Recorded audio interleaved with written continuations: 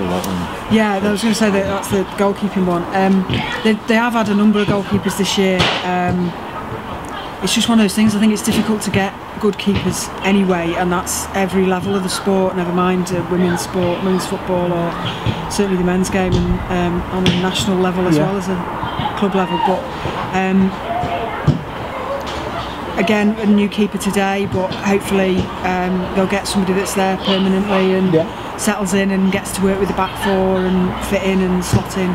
But again, a lot of a lot, even where they're changing players quite regularly, you get that feeling that they're all pulling together and, and working towards each other.